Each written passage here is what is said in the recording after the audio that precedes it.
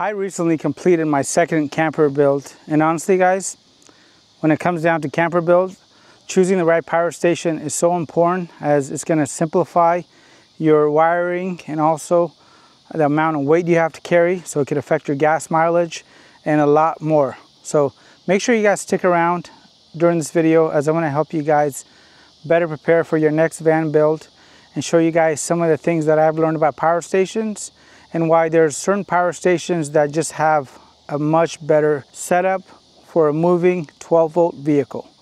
Stick around. Hey everybody, welcome back to Random Fix. So I'm happy to report that the Sprinter is all done. And not only is it done, it's taking some road trips to New Mexico, Colorado, parts of Texas, and also I think, yeah, I think it's been to Louisiana because that's where I purchased from. But this video is going to be all about power stations as I have tested quite a few power stations. And from building out the camper van I have realized that people that build camper vans or are going to be full-timing in RVs they need a different sort of power station not these power stations here as these are great for home use occasional camping but moving vehicles are completely different because they have an alternator. And honestly, most of the electronics on these vehicles are based on 12 volt. So wiring and everything else is going to be completely different.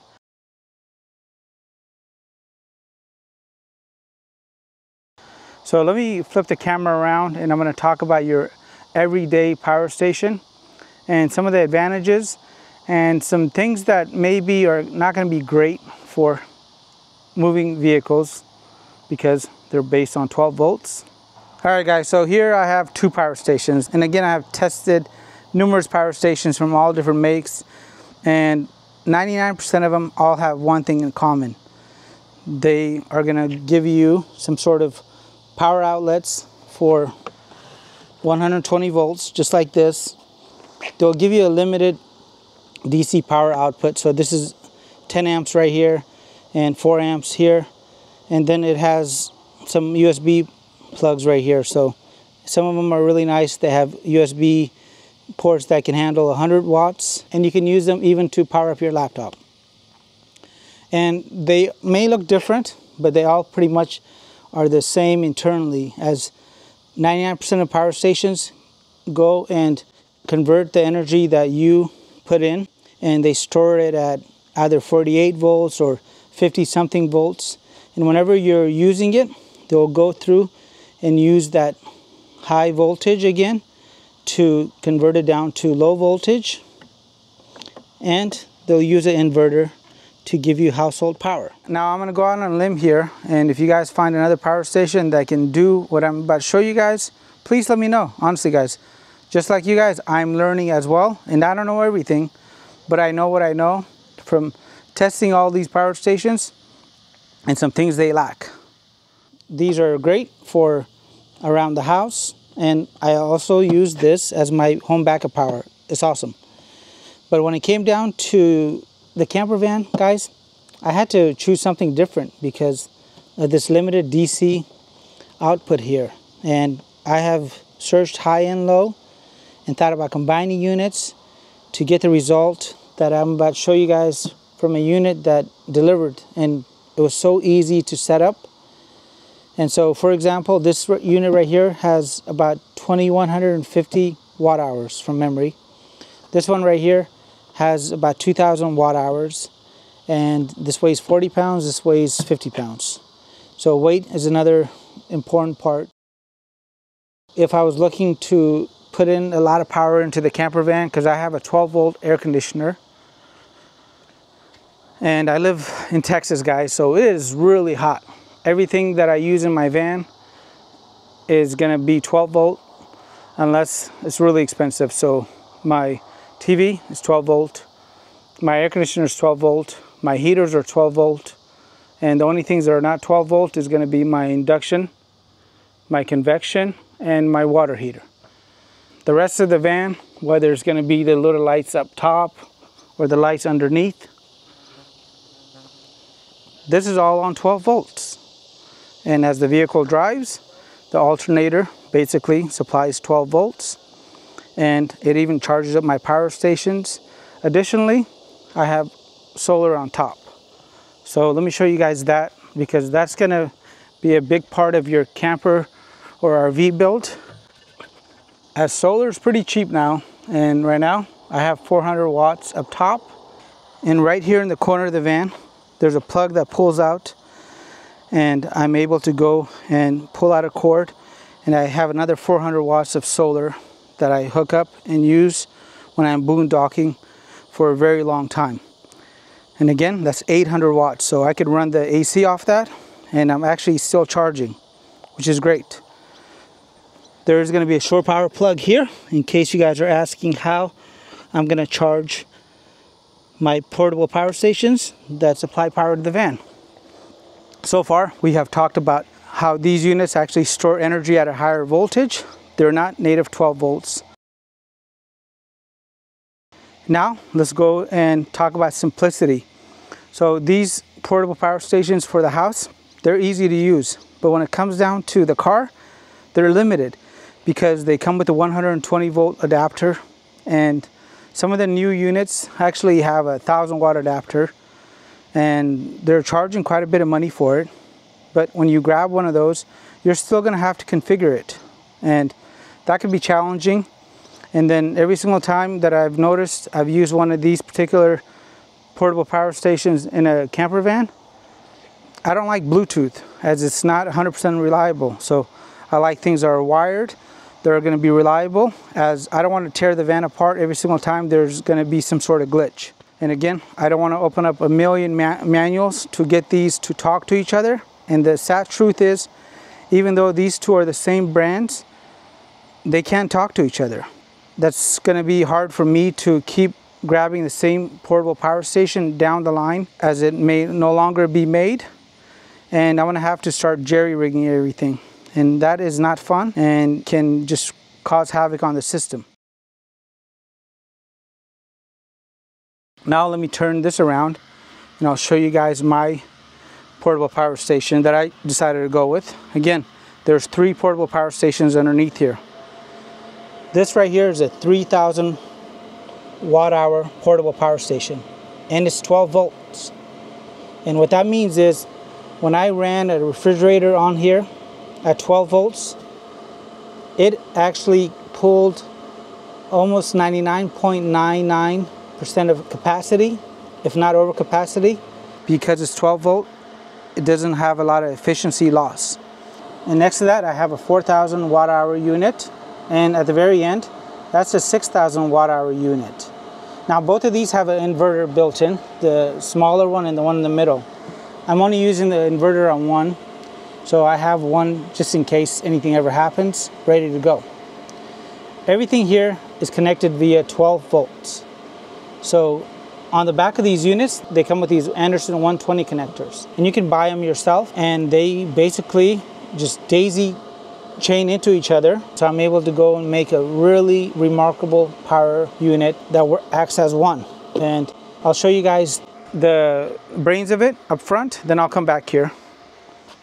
So again, let's add loss of efficiency with your standard power station to the list of disadvantages.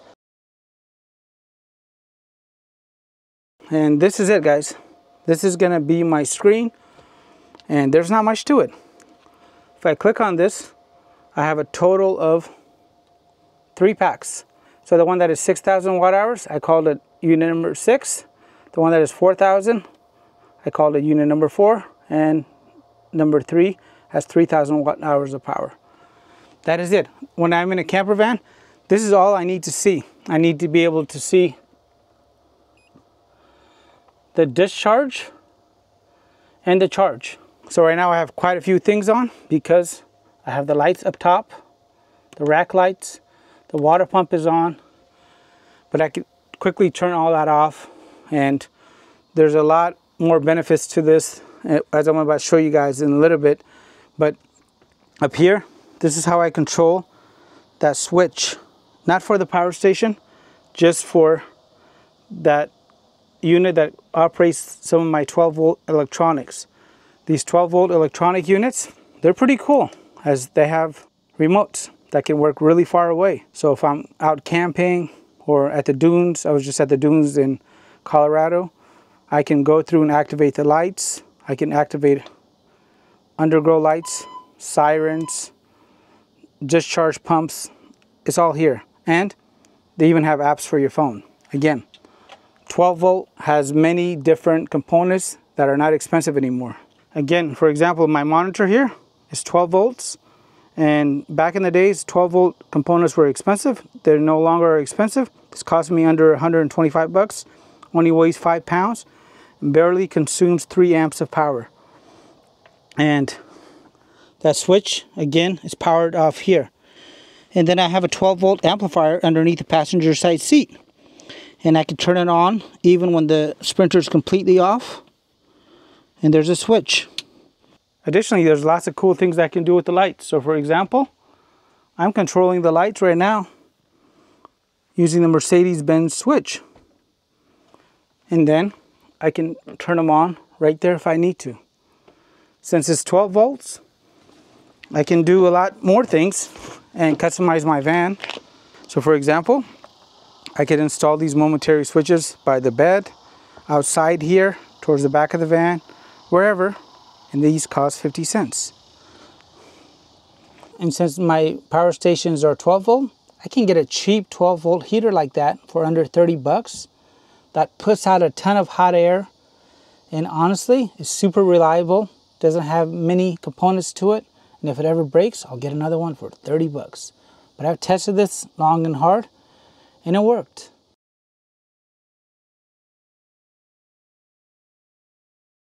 Now you might be asking yourself, what are the advantages of these power stations with 12 volt vehicles? Well, it comes down to charging, guys. So each one of these units actually came with one of these 30 amp chargers. And there's a smart charger. There it is right there. I normally just run one. When I'm driving, it turns on automatically. And when I'm not, it will stop being used. If I ever really need to charge my batteries more, I can go through, hit that button, and now that is on. I oftentimes don't ever charge this way, but it's an option and it's really easy to configure that way. On top of everything else that I showed you guys, I can use this to keep my vehicle's battery in a healthy state by a simple relay. And again maybe it's going to cost me five ten bucks but whenever the vehicle is off and the voltage on the vehicle's battery goes down this will go ahead and help out. Again it's got a small 5 10 even a 25 amp fuse you can use and it keeps the vehicle always running you don't need a jump start and these things are strong enough to jump start a tank, each one of these units by themselves, because of that Anderson 120 connector. And I'm trying to show you guys it right there. It's towards the back. And I just built this little wooden platform so I can still utilize this area. And the reason I kept it down here is because in the winter, I am planning on going to the snow. Even though I live in Texas, I miss the snow.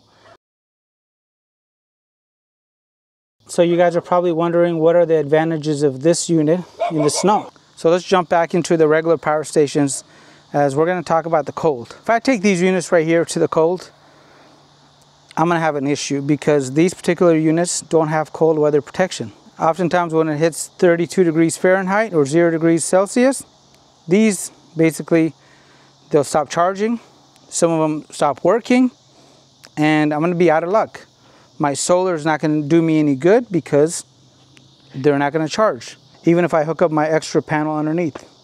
So now I'm going to be stuck out in the cold without heat. And I can tell you guys from sleeping in a camper van like this, before I put the insulation in, even in 40 to 50 degree weather, guys, it turns into an ice box. At zero degree weather, it's gonna turn into a, a freezer. So these batteries are a little bit different as not only are they better, they actually have cold weather protection built in. So as soon as I start charging these, they have a little heating pad, an element that heats up and basically will keep the batteries in a safe state so they don't actually get damaged. So I can, A, use this in the summertime like I am in Texas here and I cool these off with the extra auxiliary fan. It's right there. There's the unit that actually controls the fans and there's the fan. So I think I spent maybe $16 on the two fans and the controller. And again, it's 12 volts, nothing really to it. Just make sure you always put a fuse in. It works. Heat, no problem. Cold, no problem. High discharge, no problem. I'm expecting to get about 10 years of use out of these before I really have to do anything. When it comes down to these units, I said 10 years before I do something as these are actually serviceable. So what that means is these are not cheap. So they're gonna probably run you a few dollars more than the plastic units such as this. This is plastic. This right here is not plastic. This is aluminum. It can be serviced. I own the equalizers for this. So after 10 years, if the batteries are a little bit off, I can go through and actually equalize all the batteries.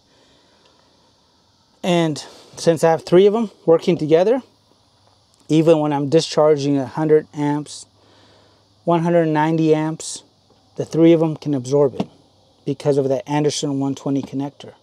I wanted to quickly share this with you guys because I know there's a lot of people converting their vans and there's a lot to this, but it doesn't have to be as complicated as some manufacturers are making it with the special proprietary plugs having to buy a Bluetooth module that doesn't work, then having to select the right profile for the battery type and putting in the maximum and minimum voltages with this, none of that is needed.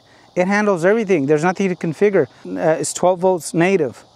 Additionally, there's a hack with these. You can actually go through and increase the capacity of this anytime. So for example, I can go through and connect this battery to those and if the battery is low it'll charge it up if those batteries are more depleted it'll go and discharge to them because they have a similar chemistry honestly those units don't have many drawbacks. The only drawback that I really see is the solar is a little bit limited. It's maxed out at 400 watts. But I'm using this for my vehicle solar panels up top. Then I use the one next to it as that one has another 400 watts it can utilize. And it gets me by and it handles my complete load. Now, if I wanted to, I can fix all that by simply using this as a buffer and I can make another video for you guys on this. So I'm gonna wind down the video by telling you guys this. I have a whole video on how easy these portable power stations are to hook up. And again, there's no complicated wires. They use Anderson 120 connectors and ethernet cables, literally ethernet cables. So they're bulletproof and they've been used for a very long time. You can find them all different lengths and they're very easy to run. They don't take up a lot of space and they're very inexpensive now. I think you can get an ethernet cable for like $6. So if you're looking for something reliable and tested, I would definitely check out that video on these particular portable power stations that I have as I think you're really gonna like it. All right guys, so it's nighttime and I'm gonna wrap this up by saying the following. Check out the video down below. I think you're really gonna like it. And you can have a lot of fun with 12 volts and it's no longer expensive and it is very efficient and very easy to configure. Let me know if I missed anything. If the video was helpful, give it a thumbs up. If you guys are new to the channel, consider subscribing as I really do put a lot of time and effort into this. And I'll leave you guys links for the whole van build and some of the products and when you should do what to help you guys out. And all that information is free. And the only thing I ask in return is if you know somebody that is into van builds, maybe consider sharing this with them. And I appreciate you guys. Make it a great day.